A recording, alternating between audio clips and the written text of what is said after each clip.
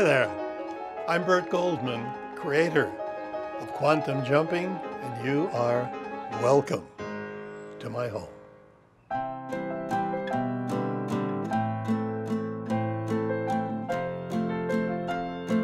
Come on in. I'll give you a little tour.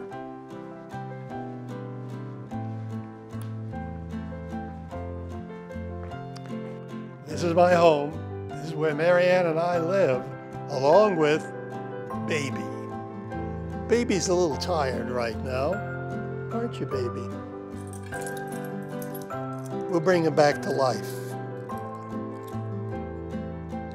Now, we chose this home. I've been out in the desert for quite a while. We chose this home because I love Hawaii. And this home really reminds me of Hawaii. Let me show you a bit of the outside.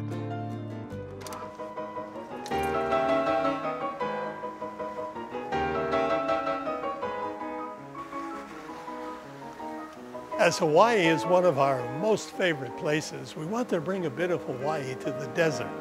And I believe if you look around, you'll say that we did succeed somewhat. Let's go into my office.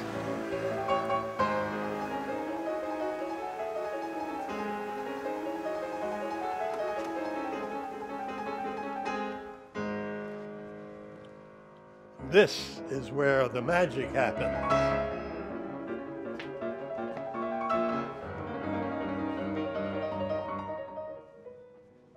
Now, when I said this is where the magic happens, I meant that literally because as soon as I sit down in this chair, this is my magic chair. This is my automatic jump chair. I hear about people who can't find anything to do and when they're 60 and 70 years old, they're looking forward to retirement. well, obviously, I don't look forward to retirement. Retirement for me is like hitting myself in the head with a hammer. That's the last thing in the world that I want to do. I want to be creative every day. Every day, I wake up with this one thought in mind. How can I be more creative today? How can I help other people? Now, aside from everything else, I'm involved in business every day. As a matter of fact, I'm involved with business every minute of every day. But my business is really your business because my business is helping other people and has been for many, many, many years. My business is all on the computer. And of course, there's Facebook. It always surprises me when I look and see that I've got 77,000 fans on Facebook. And I talk to them every day. For me, Facebook is just another way to reach people, to, to give them a helping hand. And not only do I have this Facebook, but there's two blogs that I'm very, very proud of, I might say. The Dear Burt blog started by my having a newsletter at one time. And one of the things that I, I kind of got from the Dear Abby column, I had a Dear Burt column where I give advice to people on just about every aspect of their life. Well, when we got into the internet, I thought maybe I'll do a video log, a blog, so to speak. And thus Dear Burt came along and I just finished my 137th video recording and you can see all of them on YouTube. Just search Burt Goldman. 137 weeks in a row. And of late, I've started quantum jumping. We have a blog there with over 50. I'm into my second year of doing that. So I do two video blogs every week. I managed to find time for all this. Uh, here's a question I just got on the blog. How can I limit the feelings projected at me from people who are harassing me. I need a technique to stay positive while blocking negativity directed at me. What do you suggest? And that's from Marilyn Williams. That's a good question. We had a scientist at UCLA who called people who are taking energy from you energy vampires. And he told the story of a man who was a writer. And every now and again, his wife would come up and visit him and bring him a cup of coffee or a glass of tea or a sandwich. And every time his wife came up to see him, he felt depleted. And finally, he told her, stay away from him and don't you love me anymore? He said, yeah, I love you, but when I'm writing, I don't want you there. Well, as it turned out, she was an energy slurper. every now and again, she was depleted of energy and she needed a slurp. Was an energy vampire. And she knew that whenever she visited her husband, she felt better. She'd walk up, give him a cup of coffee, and slurp some energy from him, and walk back, and she felt wonderful. But he felt depleted. Now, there are people like that. They're energy vampires. I remember once I was in a coffee shop, and a mailman comes in. Typical energy slurper. He sits down next to me, he looks at me, he says, boy, what a lousy day. Well, I thought it was a beautiful day, but not for a mailman, apparently. He had a walk, he was a walker. And then he started telling me all the things that were wrong with the world, and all of this, and all of that. And I realized I'm sitting next to an energy vampire. He felt good after about a half hour. He got it all out. And I was beginning to feel weakened. And so I use one of the techniques that I use, which is an energy shield. What is an energy shield? Whenever you're in the vicinity of somebody that you consider to be an energy slurper or an energy vampire, somebody who, when you leave them, you feel worse than you did, just imagine a psychic shield between you and them, a sheet of glass, if you will. If you want to be nasty, put a mirror on the other side. Does that work? It worked so well that I must tell you this little story. I was doing a seminar in North Hollywood, and I was explaining the energy shield business and how it's a real thing. And people accept it. You know, I, I don't lie, and people know that. And so they felt that I believed it, certainly, but it wasn't necessarily true. And so I says, I'm going to show you how real these things are. Now, the room we were in was about 20 feet wide and maybe 50 feet long and there were about 150 people there. And I took one person and I pulled her to the side and I whispered in her ear, I want you to put an energy shield somewhere in the room from that wall to that wall. Don't tell anyone where it is and don't tell me where it is. Okay? She said, yes. I said, all right, let me know when you've done it. And she closes her eyes and she's looking and she says, okay, I've got it. And now what did you do? She says, I put a wall up somewhere in the room. And I said, all right, now let's see if I can find it. And so I took a, I made myself a little dowsing rod out of a hanger. Took a hanger, made a little L out of it, and I held it in my hand and I slowly walked from one end of the room to the other, telling people I was looking for the shield that she had put up. And when I got to about three quarters of the room, all of a sudden, the little rod in my hand flew over to the side. And I said, it's right here. And she couldn't believe it. She said, that's exactly where I put it up. But that was a good indication of the fact that these mental images, these mental shields that you build are real things. I mean, they are real. Perhaps in the uh, physical world, they would not show up, but somehow in the metaphysical world, they do, and they are real. So when you put a shield up between you and another person, it's a real thing. It's going to block their energies. And now, my friends, for the fun part of my day. This is the latest thing for me. Now, as you look around and see these paintings, if you're in this room here, you'd almost have to be in awe, especially when you realize that I just started painting recently. The first time I picked up a paintbrush, I was 78 years old. I had no idea I could paint. When I started painting, I was painting just about like everybody else. Uh, as a matter of fact, this you probably recognize as Van Gogh's bedroom. I wanted my own copy. Couldn't afford one of his. I mean, his sells for millions of dollars. I thought I'd make my own. And I started painting like that. And you know something? I was just like every other painter, except I wasn't as good. There's probably 100,000 painters and every one of them are better than me. So I thought I've got to get my own, my own genre, so to speak. And I picked on the contemporary genre. How? I saw a Pollock, Jackson Pollock painting that had just sold for something like $50 million. And I thought, $50 million? I think I might be able to, to work on something like that with the help of quantum jumping. And so I took a jump into a me that was a Pollock. Now, those of you who are familiar with quantum jumping know what I'm talking about. So there I was, painting because he had a different style. He didn't use brushes. I says, how in the world can you not use brushes in paint? And so I got into the into the twin self of me who was like a Pollock. And I got myself a canvas, of course, and paint before that. And lo and behold, I painted my first contemporary painting, which I felt was kind of politicized, politicized. I thought that came out pretty good. And so I thought, well, gee, I think I can do that. Uh, let me practice. And then I worked on it, worked on it, worked on it. Now I've been doing that for about two years. This is my latest here. I'm really proud of this one. I think this is a masterpiece. That's my own personal opinion. I'm sure that Van Gogh thought all of his work was masterpiece. I call this one Dancing Lady.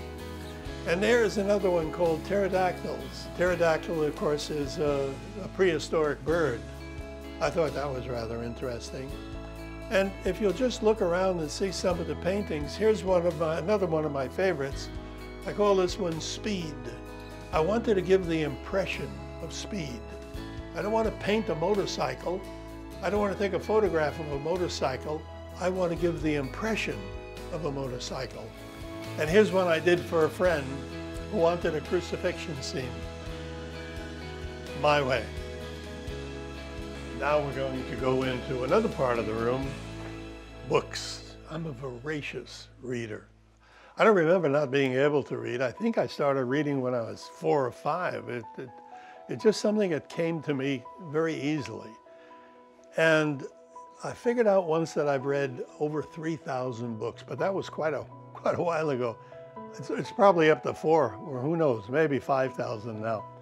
And one day I decided, what the heck, why don't I write my own books? And at the time I was involved with Silva, and so I decided to write a book about Silva, and that was Better and Better. Good title, I thought. Then I wrote another Silva book and another, and Silva Mental Dynamics became a, a big hit, and I think it went into 11 or 12 different languages. And then one day I said, why don't I write something for myself, something that I'm going to really enjoy? And that's when Zyklon came about. Zyklon is a historical novel about a man who is 2,500 years old, but it makes sense. History part of it is accurate. I had a lot of fun with that one. And my most recent self-development book my most recent personal development book, The Power of Self-Mind Control, which is kind of a compilation of everything that I know in the past years that I've been training people in personal development. I wrote a Western, I've written an, an Eastern, a Chinese novel. Uh, it's one of my hobbies. Uh, when I'm not painting and I'm not swimming, the greatest joy in my life is writing. And that's another thing that I got from quantum jumping, but didn't even realize it because I had no idea I was a writer. But somewhere within me there was. Somewhere within me was this great writer, this great poet, this great everything. Just as it is within everybody, just as it is within you. Except you have to let them out. How many people who had the voices of a Mario Lanza, a Pavarotti, a Maria Callas, had the same attributes, but they never sang because they didn't know they could, and so they never developed. Motivation, that's what quantum jumping is all about. That's what everything that I do is all about, motivation. Motivation is simply a strong desire. When you strengthen your desire for something, when you strengthen your desire for painting, when you strengthen your desire for writing, when you strengthen your desire for whatever it is that you want, you don't have to worry about motivation. You'll do it. You will do it. You will take that action. And without an action, there's no such thing as success. And all, by the way I look at it in all my writings and everything that I propose to people, there's no such thing as failure. I love the story of Thomas Edison. When he was developing light bulbs, somebody asked him, how can you keep going? You've had a thousand failures. He couldn't find the right filament. Everything kept burning out. He said, what are you talking about? I haven't had any failures. I know a thousand things that don't work. There's no such thing as failure. You do something, it doesn't work, you do it different the next time. If you do it the same way, you're going to get the same result. That's the key to success. And now we're on our way to the piano. Only thing is, I never learned how to play the piano. But through the magic of quantum jumping, somehow the fingers just fall into the right spot and people seem to enjoy what I do. Unfortunately, I don't read music. And when I play something, it's always original. It's so original, I can't even play it back. And so I got a piano that records as I play. So at least I can hear the song again. But here I go, playing a song that is original. As a matter of fact, I'm to have to make it up as I go along. I just let my fingers fall where they might. Like I said, I don't know one note from another. Well, I know where C is. And I just let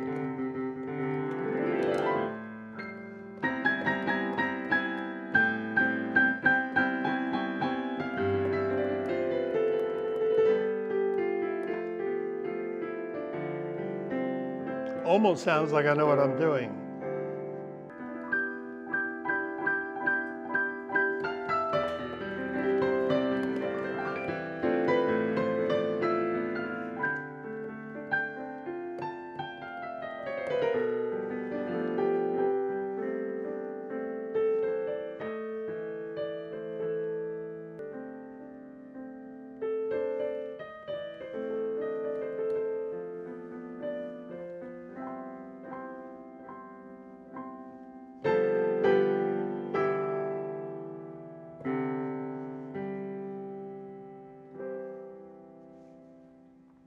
Came out of a quantum jump. Well, that's about it. I enjoy my playing, good, bad, or indifferent. I hope you enjoy a little bit. Usually I like to play the piano to help people. As an example, if somebody's got a headache, I'll play a headache tune to take away headaches. What's a headache tune? I put energy into the piano. That I know how to do.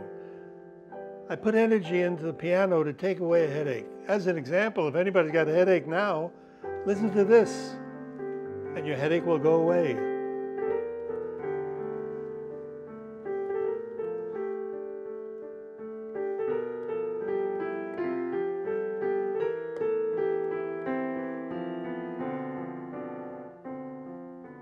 Thank you so much for coming, folks. I hope you enjoyed the tour of my home as much as I enjoyed showing it to you. Thank you so very much. And do remember, it all came out of quantum jumping. Burt Goldman saying goodbye for now. Have a wonderful day, a marvelous week, a fantastic month, and a sensational year. A friend of mine is a whole lot smarter than me. Everybody wanted to know how he got so smart. So another friend comes over to him one day and says, how do you get so smart? He says, I take smartening pills. Guy says, smartening pills, what are those? He says, well, here, see these little pills I got in my pocket. Guy says, where do you get them? He says, you can't. He says, I have the last batch. He says, well, how much are they? He says, $25 each. He says, well, can you sell me one? He says, well, I can sell it to you, but I got to get $50 because it's my last one. Guy says, here's $50. He says, what do I do? He says, eat it. So he takes it, puts his mouth, pooey, pooey, spits out. He says, tastes like rabbit poop. Guy says, see there, you're getting smarter already. You're supposed to laugh at